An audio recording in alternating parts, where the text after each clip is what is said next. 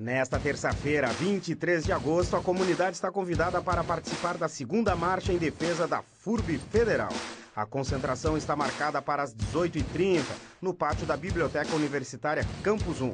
A iniciativa é do Comitê Pró-Federalização da FURB, que espera a participação popular neste momento importante para o ensino superior de Blumenau e região.